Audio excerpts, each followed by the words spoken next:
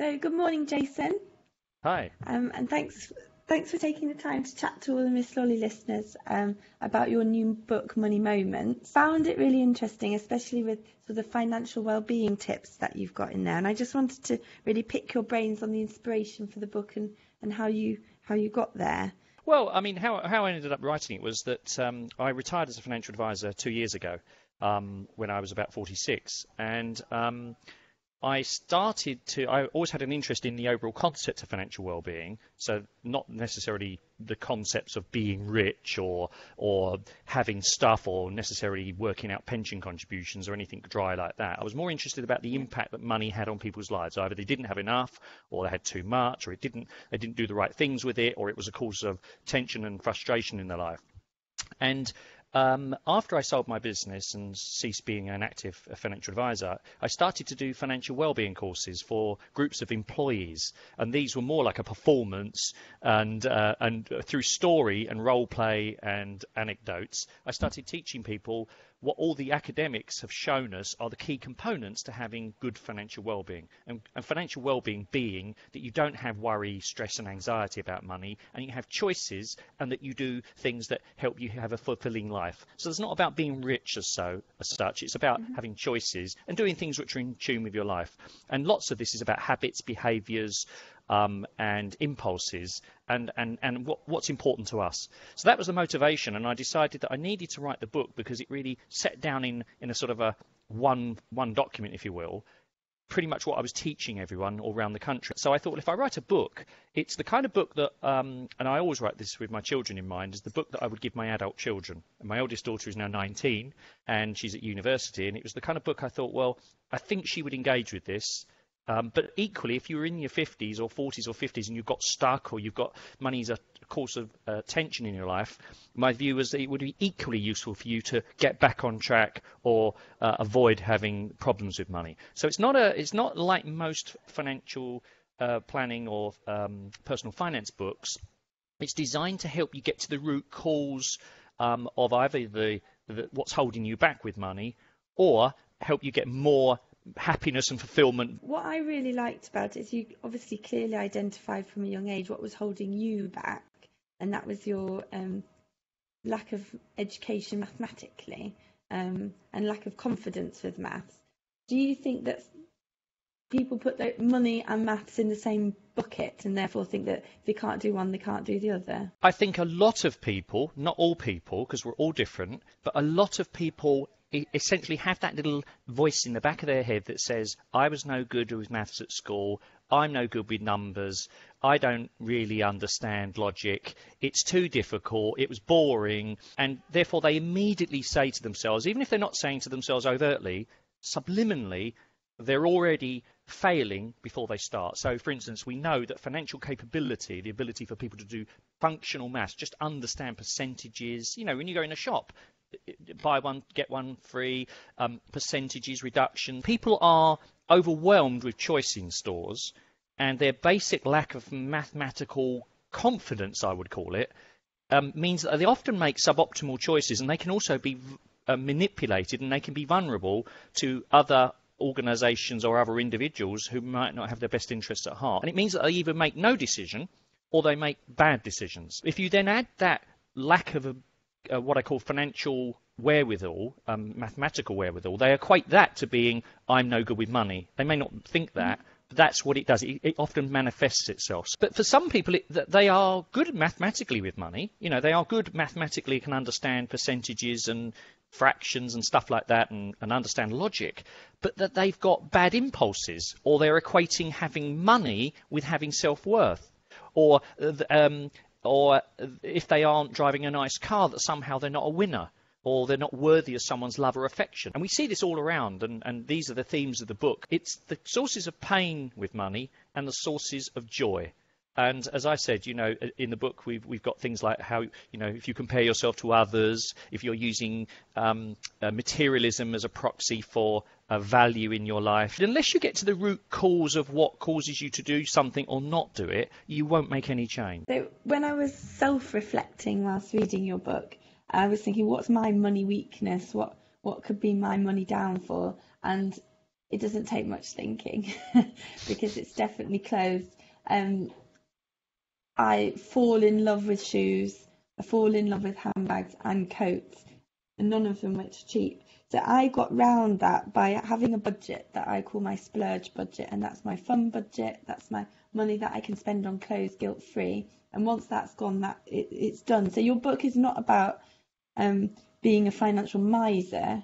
It's about finding out what works for you, presumably. Yes, and I think that's the point. Here, and that's uh, uh, if there's one thing I want people to take away from the book, this is not about living like a miser and a Scrooge and a kind of a monk today for some great day when you're falling apart and in an old people's home. That's not what it's about. It's about really being intentional about well the role that money plays in your life and you being an active participant not not over over engineering it but as you say so you love shoes okay? They give you they give you happiness. They give you a sense of um, a warm feeling. But that feeling as we know and we know from the academic studies wears off doesn't it? But as you'll see from the book that's okay as long as it's not um, being destructive about the rest of, of your life. So in other words you've got a budget and again, it's guilt free because you know a lot of us do things, and you know, do we? Especially when you're in a relationship. I know you're married, you've got two kids, you've got other obligations. We shouldn't have guilt, and we shouldn't have, and that's why we, my wife and I, have always had the blow it fund. We call it, you know, the the fun money. We're all human. None of us are perfect. None of us are got all this perfectly mapped out. But awareness, as you said, I like shoes. I've got to keep on buying shoes. But here's the other thing, Lisa, as you know from the book. What's the other chapter we talk about? Decluttering decluttering yeah. is about reacquainting yourself with those shoes that you'd forgotten about at the back of the wardrobe that actually are really good that go with your new outfit, but also giving stuff away and creating some mental space so that perhaps you don't always need to go shopping and selling stuff on eBay yeah. and getting money back. So it's about being in control. And, and that's really what it's about. Another story in your book that really resonated with me is something that I see day to day um, as a financial advisor looking after the wealthy um, was a story about Gary and Lisa, who are a very wealthy couple. Um, they've got lots of money, they've got all the flash that goes with that, the posh cars and, and all the bling. But one day their card just doesn't work and they don't get any money on the way to their posh ball. And I, the most extreme situation that I've ever had was where I had a banker came to see me in May, just having received his million pound bonus in his bank and he was still £30,000 overdrawn. And to me, that was mind boggling. Um, and he was taken aback. And I think the reason he became a client of mine was because we stripped it back to the beginning. Why was he really £30,000 overdrawn um, five minutes after he'd received a bonus that most people will earn in their whole lifetime? It feels like what you're talking about in your book um, is that everybody needs to do that, whether they're earning £10,000 a year or £10 million a year, you can still have these bad habits. Yes, and learn behaviour. Okay, so belief is the first thing. All behaviours and habits come from a belief system. The simplest way to think about it is everyone has a money story. Now, I'm not a psychologist, so I can't possibly uh, talk with any authority about the, the psychological aspects, only insofar as what I've read and what I've observed in the thousand people I've interviewed in 25 years. So I've met a lot of people. And, and as I said to people, we all have a money story. Now, that money story is either enabling and helping you and helping you do the right things, or it's holding you back or it's programmed you to do things that are destructive. So, for instance, the banker, it may be that he, he there were some issues when he was growing up where money was equated with love or spending. He didn't get attention from his parents, perhaps, and the only time he did get attention was when they were giving him things or spending money, and therefore you get a deep-seated you get a deep-seated um, um, weak relationship between the role of money and the, and your self-esteem and your self-worth. You, know, you can't get too heavy with people, but I think if we're all aware that we've all we all come at money with different beliefs, and it's those beliefs that drive our behaviours. Now, a self-belief can be a positive thing. Um, which means, you know, you could say, I'm going to be good with money. I am good with money. My, my oldest daughter, Daisy, says, Dad, I'm great with money. Right? And she says it all the time. And she really is. I mean, she she said I've been underspending in my student budget, and um, and plus I've got hundred pounds I came to uni with my own money. So by my reckoning, I should have two hundred pounds by the time I come home. That's what she's focused on. And she really is, and she believes that, and she says it all the time. Equally, if you say, I'm no good with money, it just goes through my fingers, or you're not saying it to yourself, but there's a subliminal sadness where you think that buying things, or buying people's attention, or running with a rich crowd, you, you with me, keeping up with the Joneses, bottles of champagne, or whatever it is, there's nothing wrong with having a splurge, but if that becomes ingrained habit, and you get into a habit of, does it really make you happy? Is this really part of your value system? Is this really what it's all about? Because long after the money's gone, it's what does it, how does it make you feel? And we know that certain spending has very limited. I mean, look, shopping, as we know, is great fun, but it doesn't last. Giving money to charity um, does give most people a sense of fulfillment as long as it's a planned giving to a charity that you thought about and you don't tell anyone because that's about examining your internal thoughts. It's about loving yourself within and making sure that you're not your behaviours are in line with your values. And the problem that you find, and certainly, I don't know if you experienced this in your career, Lisa, but I've certainly found it with all the clients I've met, is that very few people do examine what a good life is and the role that money plays in it. One of the reasons I sold my business was because um, I had a client who dropped dead of a heart attack at 46 and he was worth 28 million pounds. Um, and I use the story all the time when I speak in my keynotes uh, about how that made me feel. But it made me re examine my own life. And I thought, I'm never going to get another chance to do this. And I don't want to make 100 rich families richer. I want to make a massive difference to lots of people, which is one of the motivations for doing the well-being. Not for me to tell people what a good life is or for me to say how they should be thinking about money, but be intentional and think through what is good and what role does money play? How does it fit into my life? And then are my daily actions in line with that? And then of course there are other things like, you know, trying to stretch your thinking beyond just next year or, or the next holiday or whatever and thinking, am I doing things today that my future self is going to appreciate? I find that the hardest part of my job um, on a day-to-day basis is actually getting clients to think about what they want. Um, so they know how much they want to earn, let's say, but they don't know what that what that means to their real life. So when I start asking them questions about when do you want to retire, what kind of lifestyle will you have, what things are important to you, what kind of holidays will you go on, and sort of building up this picture of the future, it's often a, a question that people really struggle to answer. Um, sort of the long-term direction, which I think is often, well, it's definitely the place that I start um, with financial planning for clients? I did it slightly differently. Obviously, I evolved my discovery process. For most people, money is a source of pain. I really believe that, even if they're not sure about it. Um, and for other people, it's it's a measurement of how well they think they've done in life. Okay, the prop that's fine as long as it doesn't become over overbearing. What I used to start with is I would say to people, "Tell me what your story. Tell me your story." So if they were an entrepreneur or a bank or whatever it is, and I'd want to go back without being too too quickly too deep, I would say, so what was it like growing up at home then? You know, what, what were the conversations about money growing up at home? Now, when someone starts telling you what it was like growing up at home around the dinner table, like either there was lots of money, or it was very, very, in my case, growing up, there was very little money. It was either a source of joy and choices, or it was a source of pain and anxiety. Either they did talk about money, or they didn't talk about money. And when you know someone's money story, it tells you an awful lot about their motivations it tells you an awful lot about their values. And it also helps them understand how they got where they are, whether that's good or bad. And one thing mm-hmm. about hearing a money story is it's not about being judgmental. So what I was always interested in was look, where are these people coming from? Because obviously, like you, I mean, I interviewed nearly a thousand people in 25 years. There's a hell of a lot of people, and not one of them had the same story. They might have fallen into different kind of zones, if I can use that term. There might have been seven or eight different typical kind of clients, but they were all slightly different. And they all have different motivations and different fears and different aspirations.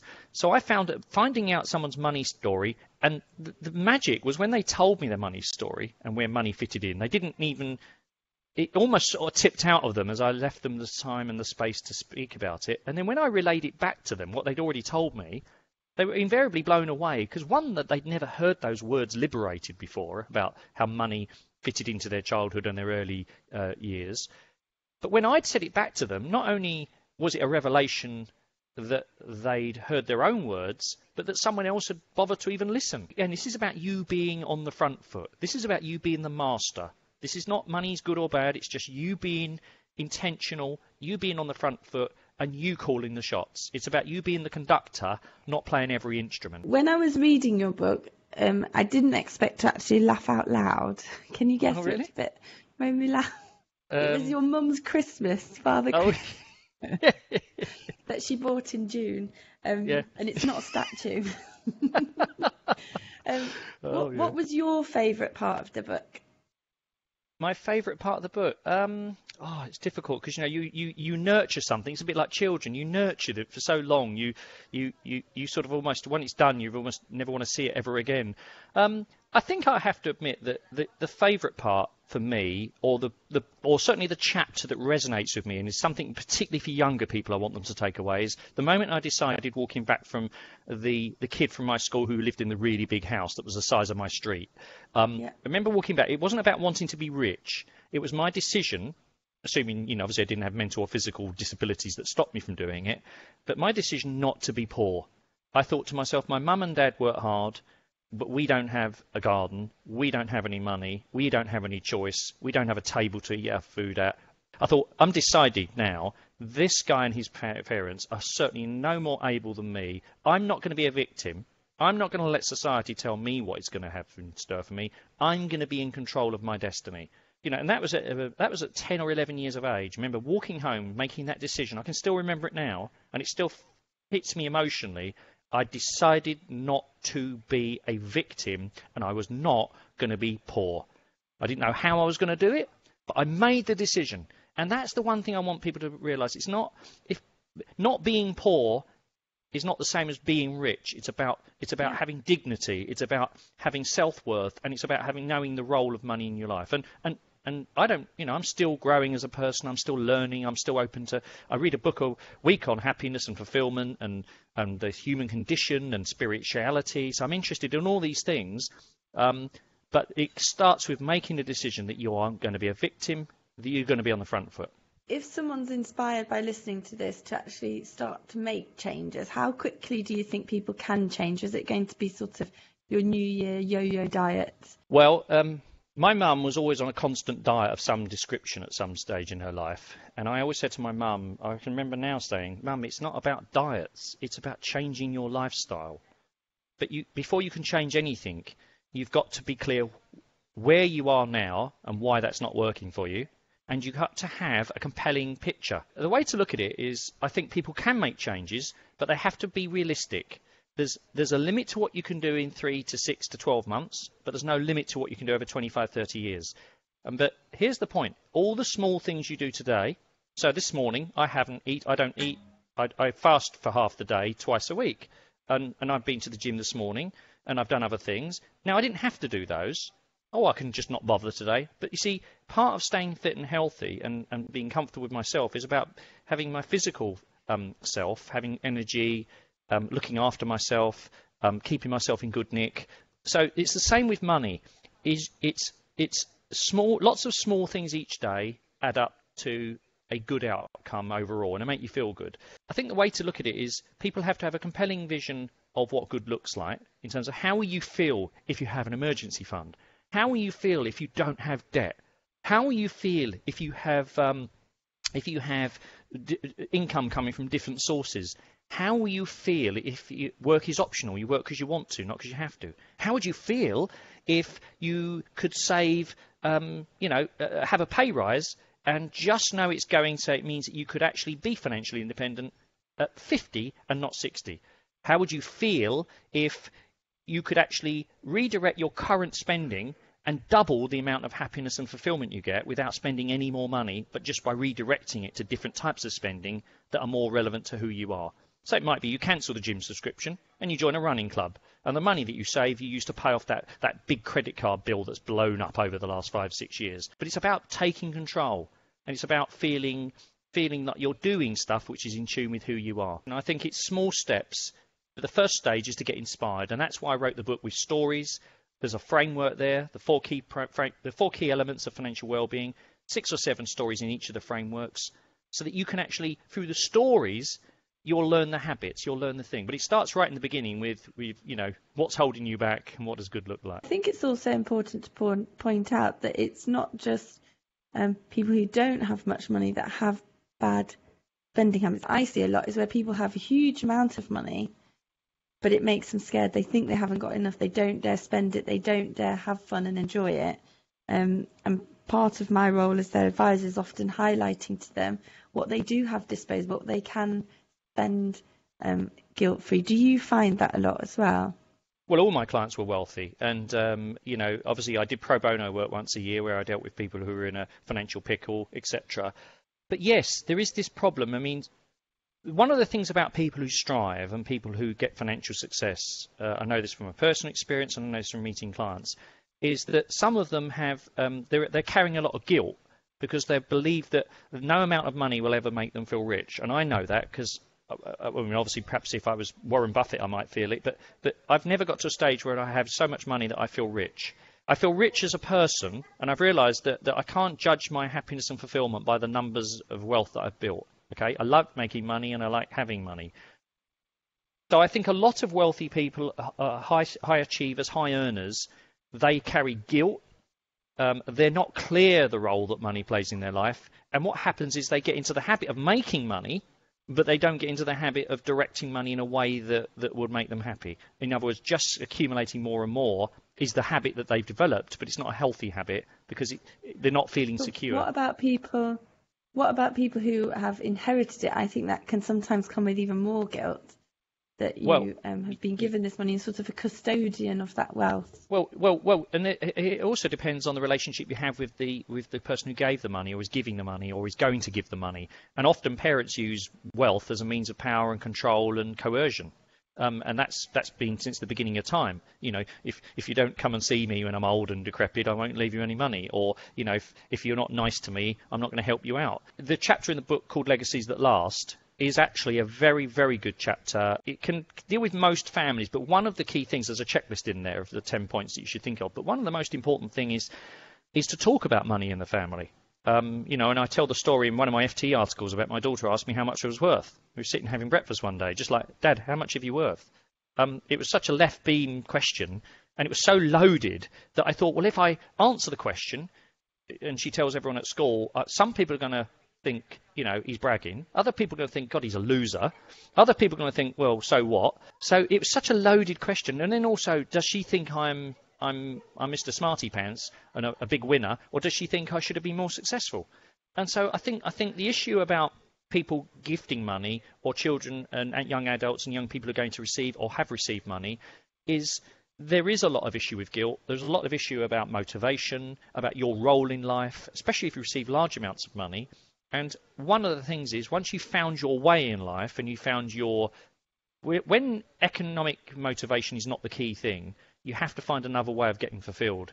And, and, and you have to learn the way to be motivated in the absence of an economic need. So, in other words, finding your self worth in the life is more important than working out your net worth when you come from a wealthy family, because then you'll do the right things. And, and, and history is um, full of families that went from, you know, being producers of wealth, and then in two or three generations to consumers of wealth. So I think the most important thing when you're thinking about transitioning wealth is to teach young people how to be producers of wealth and to do positive things with it and not to drink it up, drink it or put it all up their nose or whatever it is or do destructive things with it. It's that cons- uh, producing wealth mentality and abundance and doing the right thing and having values, which is, I think, the most the key to making sure that legacies do last. Because money is merely the the petrol. Um, your life fulfillment and motivation is the engine. So, how did you answer that question with your daughter then? Was it with a figure or was it with um, did you turn it back on her? I said to her, look, darling, that's, that's an interesting question. Look, I think I think it's not the time to be going into pounds, shillings, and pence. Obviously, we live in a beautiful house. We've lived in it for 20 years, and we don't have a mortgage. Okay, um, and we both, you know, we bought a, a brand new car um, a couple of years ago that we then wanted her to learn to driving, and I paid for the insurance for her, which is not cheap. So she knows there is, she knows we're, you know, we're not scratching, as it were, for money, but we're not flash people. So we lived in the same house. We've had the same television for 12 years. I've been spending the last year and a half deciding which smart TV to buy and how to buy it and when to buy it. So she knows that she knows that we're we're we're comfortable, um, but she knows that we we fight a fiver to the floor. Um, yeah. So uh, we didn't answer it with a number, but then when we talked about um, when I sold the business, we started talking about numbers and talking about the sale consideration and money's coming in. And and what actually happened to her? She said, "Well, where's all the money come from, Dad?" Because she couldn't understand. Because she said, "Well, you don't have a proper job." I said, "Well, I do have a proper job. I'm a writer and a speaker. It's different from what I did before." it always gets people laughing at conferences um, because her idea of a proper job is you go to the same place every day, like I did for 20, 23 yeah. years. And um, I said, well, no, I never. That was never me. Me was always being, being flexible. It was about fitting work in to my meditation and to my yoga and to my fitness and to my reading because I read two books a week. I mean, it takes a lot of time. So I, that's what I do. But she doesn't see it like that because obviously, and, and as I've explained to her, you know, we've built passive income, we've built assets, we've got money working for us now, so we don't have to work as hard as other people for money. But I'm still more than ever motivated to do what I call my normal work. It, it may not produce me the same level of income that I had when I was a, a, a partner in a firm uh, advising wealthy people, but do you know what? I'm happier than I've ever been. Now, I'm not knocking people who earn six, seven, eight hundred thousand million pound a year doing whatever they do, but that was never enough for me. And as I say, I hope when I take my last breath, people remember me. Um, but there's plenty of people out there earning lots of money. No one's ever going to know who they are. And for ma- what matters to me is that the legacy is that I leave the place better than I found it, and I help a lot of people find some peace and, and fulfillment and, and get the role of money in their life uh, in context. You've got a sort of 20 point checklist um, that you've got with the book. How yeah. would Miss Lolly readers get their hands on that? Well, uh, as I say, the book is ten pounds, so it's not uh, out of the budget, and I think it's probably one of the best Christmas presents anyone could have, or a birthday present, or a New Year present, or a new tax year present. But if you can't or don't want to buy the, the, the, full book and get engaged with the stories, then the checklist, which is in the last chapter, is available as a free download from my website, which is jasonmiddle-butler.com. And uh, obviously, you've got to leave your email and your name, but you can opt out of any mailings. But you can download the free PDF, which shows you all 20 points. And it's not rocket science, any of it, is it? I mean, the first thing, the first no. thing is about is about thinking right about money, um, and then are, it gets more granular. But everyone can get their hands on that for free, um, and they just go to my website uh, and download it. Okay, and then one last question then before we end. I was always interested when reading your book to know did the story were the stories inspired from the research that you read, so you fit your stories in around the research, or did the stories come first and then you went and did your research from there? Well, obviously, I'm always absorbing. I'm like a, I'm like a, you know, like a those those leaf machines or the street cleaning machines. Um, mm-hmm. That's how I am with research. So, um, and some of it because I've written four other books, so I'm always researching. I'm always reading. So, some of the research um, was the basis of the chapter, and then I dug deep and thought or researched or remembered stories. But other stories just came out of me that were just natural stories, and then I looked for the research to see if there was research, because I wouldn't put them in the book if there wasn't research to support the theory. So, in other words, I did re- write a number of real life stories, uh, both my own and real clients, um, which I thought might be interesting and anecdotally, and I would not have put them in the book unless I could have found some research to support them. So it was a mixture of some it was the stories, then I found the research, others it was the research, then I, I found the right story. But but that's the most important thing. You need not just you don't just need logic and uh, academic substantiation of ideas. You need that, but you also need, and this is really important, and this is what the book's about. You need that emotional connection and understanding and um, an acceptance of that this is real. So that the theory is one thing, but how does this work in real life? And that's really why the stories I think are so in, insightful for helping people connect with the ideas. And I think it helps you remember them as well. I won't yeah. forget Lisa and Gary. No, you won't. So there we necklace. go. Yeah, there. Oh, yes. So there we go. So now you're remembering. So that's the beauty, and that's why the book is. If you buy the checklist, it's a bit like um, it's a bit like um, how can I put it? It's a bit like it's a bit like a to-do list, really. Um, the to-do list is one thing. It tells you what you should be doing, and when you should be doing it, but the rest of the book tells you the why and mm. uh, as opposed to the how. And the why often for many of us, as I say, just in closing, the why often is the issue for us. If we can get to our inner mot- motivations, if we can get resonance, and if we can get engaged with this and see this as a positive, then the checklist will just be, you know, your to-do list um, in a structure. Well, I loved your book, um, Jason, and it really definitely got me thinking about my financial, well, psychology, I suppose. It's not something I've spent a lot of time thinking about. So thank you very much and thank you for your time. That's a pleasure. And thanks very much indeed for taking the time. As I say, um, I'm very, very, very happy to um, uh, answer readers' questions and so on if they go to my website. Uh, and I'd love to hear if people buy the book what their favourite chapters are and more importantly, what their stories are. So thanks very much for having me on. Thank you.